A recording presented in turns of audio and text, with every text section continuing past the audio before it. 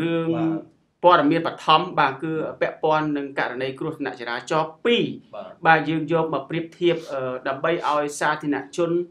បានជ្រាបថាតើយើងគួរធ្វើយ៉ាងណាបើយើងជួបនៅគ្រោះថ្នាក់ចរាចរណ៍បែបហ្នឹងបាទបាទអញ្ចឹងអឺបាទម្សិលមិញយើងធ្លាប់និយាយហើយនៅក្នុងកម្មវិធីដំណឹងអ្នកស្រុកនោះពេលបាទល្ងាចបាទបាទរឿងបញ្ហាកង្វះខាតនៅចំណេះដឹងរបស់មនុស្សយើងអឺដែលបន្សល់ទុក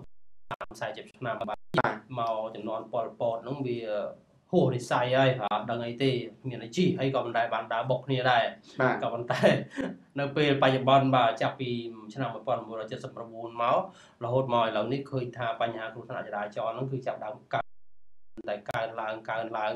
បាទហើយទង្វើរបស់មនុស្សហាក់បីដូចជាអកតេបាទ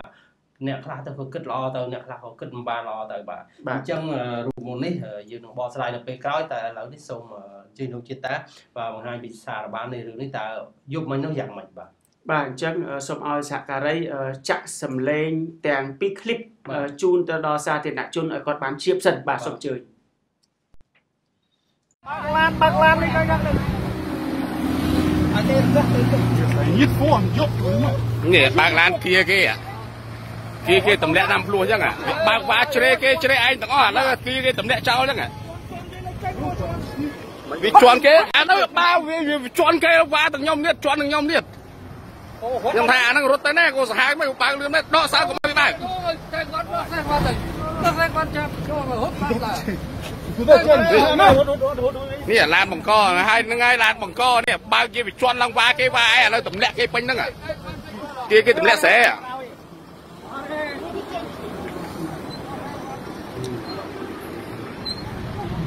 គេ បើគេគេគេឯងបុកគេទម្លាក់ទៅទម្លាក់ចូលក្នុងឆ្នាំភ្លោះមួយឯង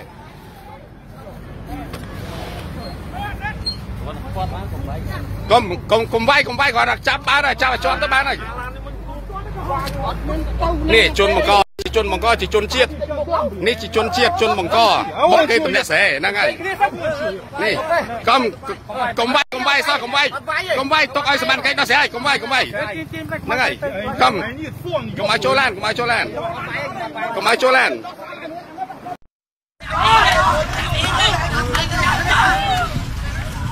ឥឡូ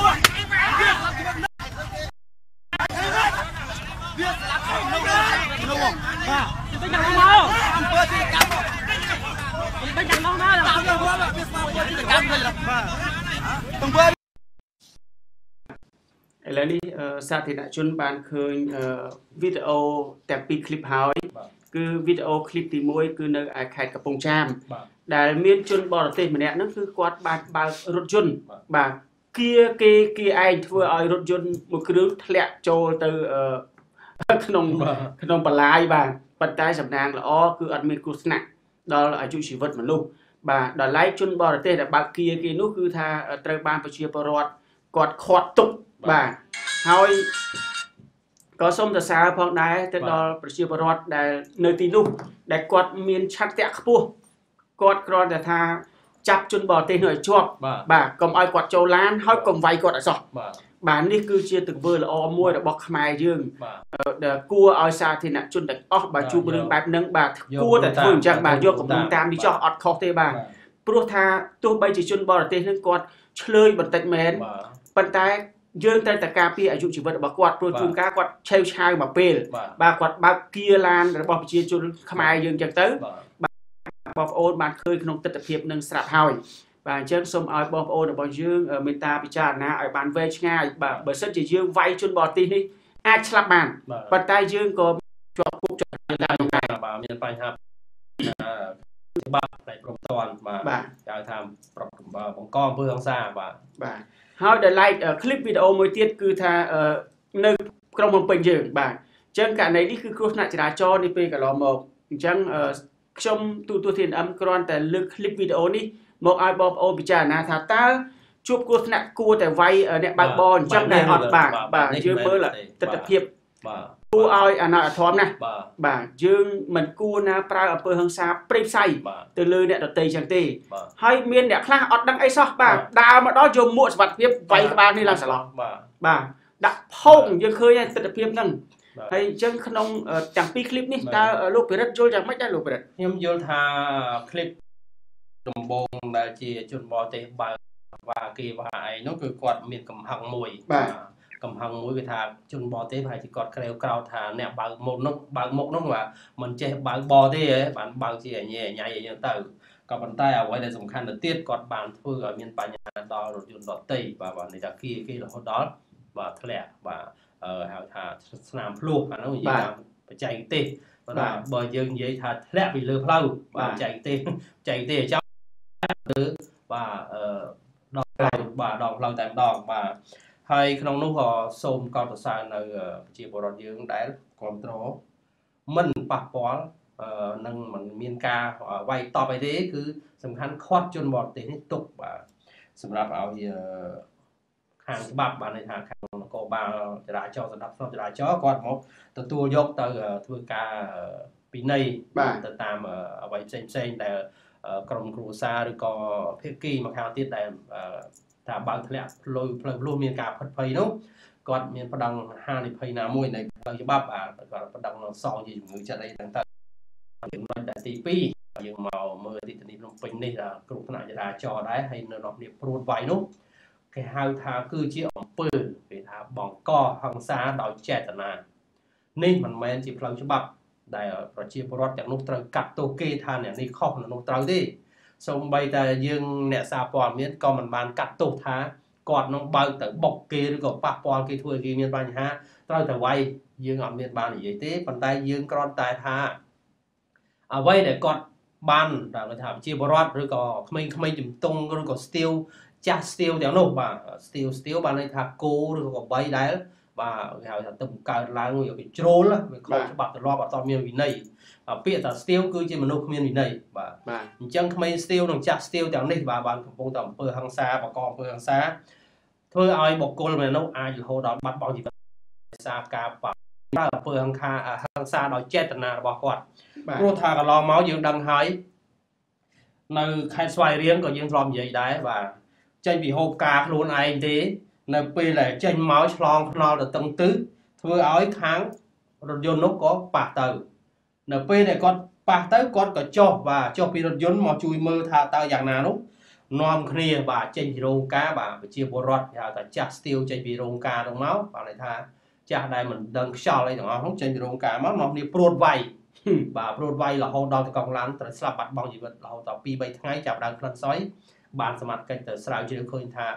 ទៅកង់ឡានថាមិនមែនរត់ទេគាត់បានន័យថាគាត់កិច្ចខ្លួនហើយថាពេលនោះគាត់កិច្ចខ្លួនប៉ុន្តែកិច្ចមិនបានអឺដោយសារគេតាមវាយរហូតពេកបាទគឺត្រឹមទៅគាត់ត្រូវបាត់បង់ជីវិតបាទអញ្ចឹងពិតជាគួរឲ្យសោកស្ដាយហើយចំណុចនេះទៀតសោតក៏យើងមិនគួរឲ្យបងប្អូនប្រជាពលរដ្ឋទៅប្រព្រឹត្តបាទអំពើយ៉ាងខើប្រៃផ្សាយយ៉ាងដូចនេះដែរនេះគេហៅថាឃាតកម្មដោយចេតនាឬក៏ ហិង្សាដោយចេតនាហើយបាទហិង្សាដោយចេតនាធ្វើឲ្យមនុស្សស្លាប់វាទៅជាឃាតកម្មឃាតកម្មគឺជាកម្រិតទោសព្រហ្មទណ្ឌបាទគេថាស្លាប់មួយជីវិតជីវិតមួយត្រូវសងមួយអញ្ចឹងអ្នកជាប់គុកបាទអ្នកជាប់គុកក៏ត្រូវកម្រិតរបស់វាដូចជាប្រហែលឆ្នាំជា5ស្លាប់បាទកិច្ចកម្មបាទដល់ឃាតកម្មអញ្ចឹងគាត់ថាអ្វីដែលបងប្អូនគិតមើលថាសួរថាយើងបានស្អីមកយើងទៅសម្លាប់គេគេគេថា គេក៏មិនមានចិត្តបង្កមានបញ្ហាកើតគ្រោះថ្នាក់ចរាចរណ៍កើតឡើងដែរហើយបុគ្គលខ្លះក៏គាត់បង្កមែនក៏ប៉ុន្តែទោះអ្វីបង្កឬក៏មិនបង្កផ្លូវច្បាប់គេមានបាទសម្រាប់កាត់ចាត់ការបុគ្គលទាំងនោះហើយអញ្ចឹងក្នុងនាមប្រជាពលរដ្ឋទាំងអស់มันគួរទៅប្រព្រឹត្តអ្វីដែលជាការឆ្គាំឆ្គងបាទយកភាពល្ងឹតល្ងងរបស់ខ្លួនទៅប្រព្រឹត្តទៅលើបុគ្គលផ្សេងទេហើយកន្លងមករាជធានីភ្នំពេញក៏អញ្ចឹងដែរបាទឃើញអ្នកសង្វងស្រាជីទៅបុកឡានគេអឺ ឡាននោះគាត់អត់បានទេបាទម្ចាស់ឡាននោះគាត់អត់បានដឹងទេគាត់ចេះបើកទៅមុខទៅបាទយប់ហើយហ៎អឺស្រាប់ដល់ឃើញគេដេញគាត់ភ័យហីមានរឿងអីចេះទៅបើករត់ទៅចេះព្រោះគាត់អត់ដឹងមែនបាទដល់បើករត់ទៅព្រួតដល់គ្នាទៅខាត់កាប់បានពីគ្នាវាយអត់មានសួរនាំថាហេតុអីបានអ្នកឯងបុកគេឬក៏យ៉ាងម៉េចក៏អត់ទេគាត់បើសិនជាយើងសង្ស័យក៏ដោយក៏ប្រឹកថាបុកគេស្លាប់រត់ក៏ដោយគ្រាន់តែយើងមានទូនាទីជួយចាប់ខាត់ទុកបានហើយ អត់មានត្រូវអំពើហង្សាត្រូវហីបុកគេមានគ្រោះថ្នាក់ខ្ញុំត្រូវទៅវាយគេមិនមែនទេបាទបើសិនជាអ្នកឯងវាយគេគឺខុសច្បាប់មួយទៀតគឺអ្នកឯងបង្កហង្សាដោយចេតនានេះច្បាប់បាទបានន័យថាយើងមិនចង់ស្ដីបន្ទោសទៅនគរបាលតែនគរបាលមួយចំនួនហាក់បីដូចជា ខ្វះចំណេះដឹងខ្វះការរៀនសូត្របាទគឺការចាប់ខាត់ជួនកាលទៅចាប់ឲ្យលែងទៅវិញដោយសារអីបានកញ្ចប់លេខការចឹងទៅ ក៏ប៉ុន្តែអានេះយើងមិនចង់វែងឆ្ងាយទេបើវែងឆ្ងាយទោះបើករឿងកកាយច្រើនណាគ្រាន់តែយើងចង់និយាយថាពីច្បាប់ចរាចរណ៍មួយនេះគួរបងប្អូនប្រជាពលរដ្ឋខ្មែរទូទាំងប្រទេសត្រូវចេះគិតពិចារណានិងឈប់បំពេញច្បាប់ បានន័យថាឈប់ទៅរំលោភវាយលើអ្នកណាម្នាក់ដែលមានបញ្ហាទៅហើយនោះយើងគ្រាន់មានទូនាទីជួយខាត់បាទឲ្យសមត្ថកិច្ចនគរបាលចរាចរណ៍នគរបាលសម្ដាប់ធ្នាប់នគរបាលយុតិធម៌គេចាប់យកទៅ ធ្វើរបាយការណ៍ទៅបដងសងទៅបុគ្គលដែលមានពាក់ព័ន្ធនោះយ៉ាងណានោះបានហើយបាទយើងកុំទៅធ្វើជាអ្នកខ្លាំងអួតក្អេងក្អាងវាយតប់បាទរហូតដល់ស្លាប់ឧទាហរណ៍មួយ បាទដោយខ្លីបើសិនបុគ្គលជាបងប្អូនរបស់អស់លោកវិញតើអស់លោកសុបាយចិត្តនឹងវាយតប់ទេបាទសុបាយចិត្តទេខ្ញុំជឿថាអស់លោកមិនសុបាយចិត្តទេ បើឃើញអញ្ចឹងបាទ ហើយកន្លងមកយើងធ្លាប់ដឹងដែរដុកទ័រម្នាក់បាទដែលក៏អត់បានដឹងអីសោះគេវាយរហូតដល់អាយះបែកក្បាលហូរឈាមទៅដេរាប់សិបធ្នេរហូតដល់ដឹកទៅសង្គ្រោះបន្ទាន់នៅវៀតណាមបើវាអាចលក្ខណៈគេហៅថាលលៃលើអាចឈួតទៀតបាទនឹងហើយលោកពិរិទ្ធតាមពិតទៅករណីមួយដែលជនបរទេសគាត់បើករថយន្តគៀប្រជាពលរដ្ឋខ្មែរឲ្យធ្លាក់ពីផ្លូវនោះឃើញថា អាយដាមគូចម្រើនក៏គាត់បានចុះទៅដល់ទីនោះផ្ទាល់បាទហើយអញ្ចឹងមានការសម្របសម្រួលគ្នាប៉ុន្តែទោះជាណាក៏ដោយទូទូ TNM សូមសរសើរទៅដល់ប្រជាពលរដ្ឋនៅឯខេត្តកំពង់ចាមបាទដែលមានកិត្តិយសខ្ពស់ខ្ពស់ណាស់ដែលយើងគ្រាន់តែខាត់គាត់ហើយបានហាមគ្នាគ្នាទៀតថាកុំវាយគាត់កុំវាយគាត់ចាប់ទុកឲ្យសមត្ថកិច្ចនេះគឺជាទង្វើល្អមួយយើងមិនបាច់ទៅធ្វើប៉ុនអ្នកណាទេធ្វើប៉ុនកន្លែងហ្នឹងក៏បានប៉ុនដែរបាទហើយអញ្ចឹង ហើយម្យ៉ាងទៀតគឺយើងធ្វើត្រូវច្បាប់អញ្ចឹងទោះបីជាគាត់គៀគាត់ខុសច្បាប់ទុកឲ្យច្បាប់ជាអ្នកចាត់ចែងទៅយើងគ្រាន់តែខាត់ទុកឲ្យសមត្ថកិច្ចអញ្ចឹងសូមឲ្យសាធារណជនទាំងយកគំរូតាមនៅคลิปវីដេអូទី1នេះដែលមានជនជាតិបរទេសគាត់បើកគៀជនជាតិខ្មែរលាក់ស្នាមភ្លុះហើយយើងចាប់គាត់បានហើយយើងមិនវាយបាទហើយសូមឲ្យយកคลิปទី2កុំយកគំរូតាមអាคลิปទី2នោះគឺកុំយកគំរូតាមអសោះ ព្រោះថាគ្នាប៉ះក៏ដោយស្អីក៏ដោយគឺយើងមិនត្រូវវាយធ្វើបាបគាត់ចឹងទេយើងត្រូវចាប់ទុកឲ្យសមត្ថកិច្ចធ្វើធ្វើឲ្យល្អដោយអាឃ្លីបវីដេអូទី1ចឹងទៅនេះគឺជាការសំណូមពររបស់ប្រជាពលរដ្ឋទាំងអស់នៅក្នុងកម្មវិធីកំណត់រាជរយៈទូទូចឹងថាសូមឲ្យចាក់ផ្សាយបាទហើយធ្វើការចារណាហើយផ្សព្វផ្សាយឲ្យបានដឹងរហូតដល់គ្រប់មជ្ឈដ្ឋានទាំងអស់ ដើម្បីឲ្យដឹងថាคลิปមួយណាបាទសកម្មភាពមួយណាដែលយើងទទួលយកបានហើយសកម្មភាពមួយណាដែលយើងមិនអាចទទួលយកបានបាទហើយចំពោះវីដេអូคลิปទី2សមត្ថកិច្ចកំពុងតែស្វែងរកបាទអ្នកដែលដៃដល់វាយទៅលើគេហ្នឹងបាទនឹកស្តុកទេបងប្អូនអញ្ចឹងយកល្អយកគំរូតាមคลิปវីដេអូទី1ទៅគឺយើងចាប់ឲ្យជាប់បកគលឲ្យសមត្ថកិច្ចចាត់ចែងតាមច្បាប់យើងអត់មានទោសហើយយើងបានជួយប្រជាជនទៀតអញ្ចឹងធ្វើជាគំរូល្អទៅហើយយើងនាំគ្នាគោរព គោរពច្បាប់យើងបានសុខទាំងអស់គ្នាបាទអញ្ចឹងព័ត៌មាននេះទូទូ TNM សំណូមពរប៉ុណ្ណឹងសូមឲ្យបងប្អូនកុំឆេវឆាយធ្វើអ្វីក៏ដោយត្រូវគិតវែងឆ្ងាយបើសិនជាបងប្អូន ឈានទៅវាយគេនគរបាលចាប់ខ្លួនបានបងប្អូនប្រកាសជាប្រត់ប្រាស់ក្រុមគ្រួសារហើយបាទព្រោះគេអនុវត្តច្បាប់បើមិនប្រត់ប្រាស់ក៏សុកសុកបងប្អូនទៅវាយគេនោះក៏បងប្អូនទៅបង់លុយដើម្បីរំដោះខ្លួនចេញពីកន្លែងពន្ធនាគារដែរបាទបាទអញ្ចឹងបងប្អូនមិនសម្បូរបែបទេបាទបុគ្គលមួយចំនួនដែលទៅវាយគេយើងឃើញមិញហ្នឹងគឺអឺប្រហែលមកផ្ទះហ្នឹងយ៉ាងហោចណាស់មានក្នុងគ្រួសារយ៉ាងច្រើន500ដុល្លារទេបាទ បាទហ្នឹងហើយបើសិនជាពាក់ព័ន្ធនឹងរឿងទោសមិនមែន500ទេបាទបាទបាទបាទអញ្ចឹងសូមអរគុណទៅដល់លោកអឺសុគន្ធដែលបានចូលមើលបាទហើយលោកជេងដារាវុធបាទហើយនឹងអឺលោកភក្តីបាទលោកប៉ាធំបាទហើយលោកគិរវុធបាទលោកអ៊ុយសុកវុធីបាទលោកមុំតារាបាទហើយលោកមករាបាទហើយនឹងមានមនុស្សជាច្រើនទៀតបានចូលមើលបាទ សូមអរគុណច្រើនហើយអញ្ចឹងព័ត៌មាននៃការគ្រោះថ្នាក់ចរាចរណ៍នេះទូទូ TNM សូម slash តែប៉ុណ្ណេះ